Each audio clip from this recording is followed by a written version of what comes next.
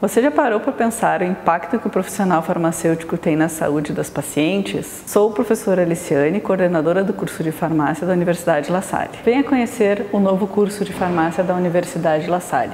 Contamos com laboratórios para prática e também locais especializados para o estágio. É importante que você saiba que o profissional farmacêutico pode atuar em diferentes áreas, dentro de uma drogaria, dentro de uma farmácia de manipulação, dentro de uma farmácia hospitalar, dentro de um laboratório de análises clínicas, também na área de estética, na indústria farmacêutica, na pesquisa científica e também como professor universitário. Contamos com um corpo docente especializado e também que tem experiência na área da farmácia. Venha conferir o nosso curso e inscreva-se na universidade. Aguardamos você!